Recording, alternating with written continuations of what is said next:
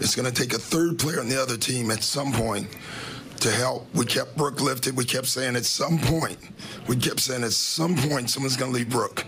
And they finally did, and Brook made the shot. Uh, Malik made a shot, Pat, so it was really nice.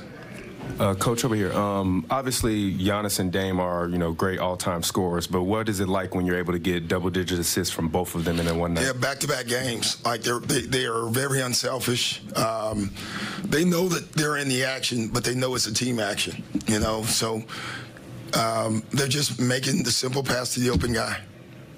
Uh, Doc, just the three that Dame hits when he comes and runs back. Just what do you think of the patience from both guys that in that two-man game to get to that, that last one was great because they went one, two, almost swung it, and you could see it coming. Um, you know, of course, there's very few people that can make the shot, and, and Dame can.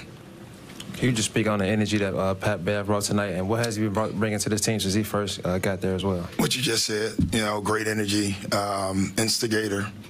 Today he committed a lot of fouls too, you know, which is fine. Like we want him to be physical. We want him to.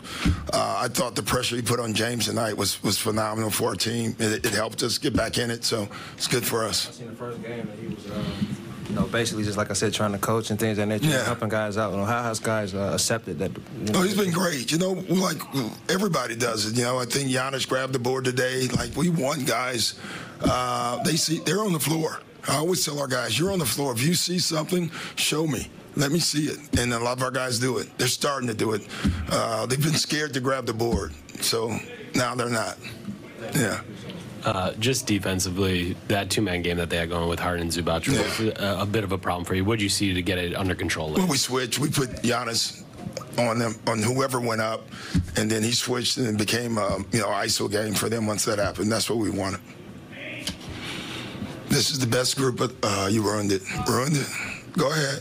Can you talk about Bees' impact on defense tonight? Yeah, he's great. You know, he's been good. Um, you know, much better this time than in, in Milwaukee. Um, I, he didn't understand what we were trying to get him to do in Milwaukee. Tonight he did. Um, he denied a lot. You know, we tried to deny James the ball, make someone else bring it up.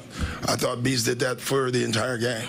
And then just how crucial was Dame taking over in the fourth quarter, 16 points total for him? Yeah, I think Dame and Giannis. I just think the combination, you know, I don't even look at them as one. You know, I think the combination of them is what creates all the action.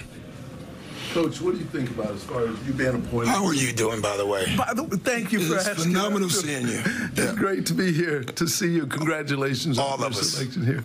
Uh, what What do you think as far as being appointed in this position as the head coach of Milwaukee? What is your philosophy and the thrust going forward? Well, the philosophy is win. I mean, that's why you, you jump into something like this. Uh, but it was with the right group of guys, honestly. Um, again, I keep using the words adults, uh, very mature, and, and at a place where they all want to win. Um, it, if we can get it right, which I think we will, I believe that, then we're going to be very tough to beat.